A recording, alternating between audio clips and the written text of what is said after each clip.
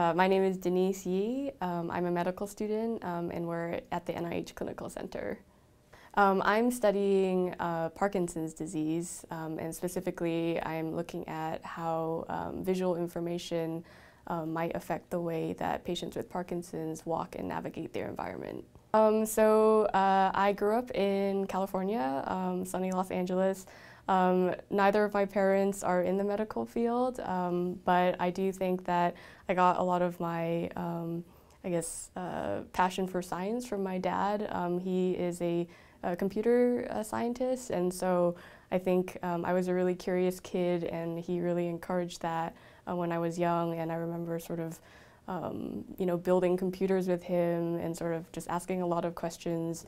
Um, and I, I don't think I was really interested in biology um, until um, high school. And so after high school, um, I decided that I wanted to work in a lab and sort of see how research actually worked because um, I think in high school a lot of it is about learning facts and learning basic concepts that have been built upon years of research, but I wanted to see how that was actually done, how that process actually worked. So I um, had the opportunity to join a lab my freshman year and um, kind of uh, stayed with that lab for four years and saw a project from start to finish.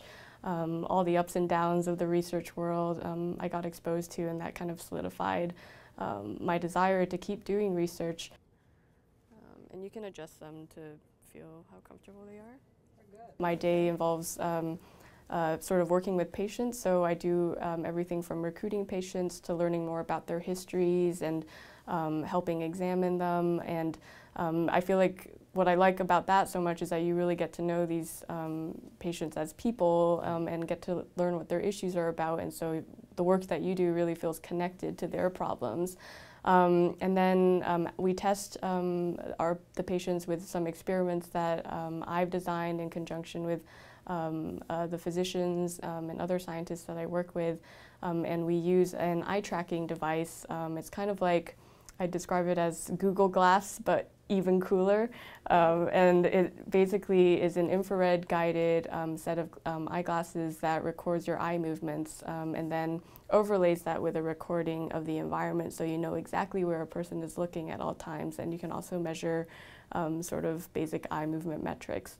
And then after we um, record all the data, um, I analyze it all using a variety of different um, computer programs.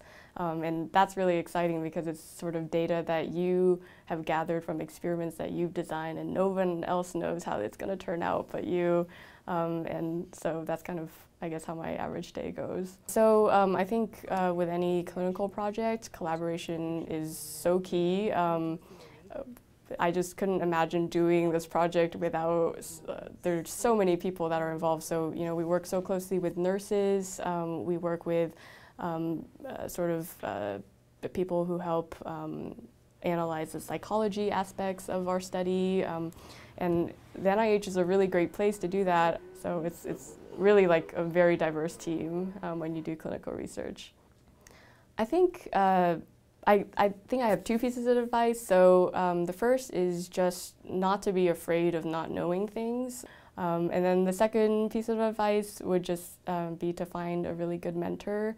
Um, I think uh, having a great mentor um, because they've been through everything that you are going through right now and sort of being able to rely on them for advice um, and help when you're having issues or just to bounce ideas off of is really important to have a, a point person like that that you can talk to.